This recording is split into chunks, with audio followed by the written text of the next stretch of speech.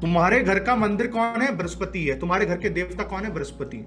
बृहस्पति दूसरे घर में है, तुम्हारे घर में शिव परिवार, राम परिवार, इस तरीके की पेंटिंग्स मूर्तियाँ पूरी मिलेंगी। तीसरे घर में जाओगे, देवी मिलेंगी। चौथे घर में आ जाओगे, कोई बाबा बालकनाथ, गोरखनाथ लिविंग गुरुज वो इस धरती पे, ओशो हो गए, उनकी फोटोग्राफ्स मिलेंगी। पाँचवें घर में आओगे तो किसी राजा की फ़ोटो मिलेगी।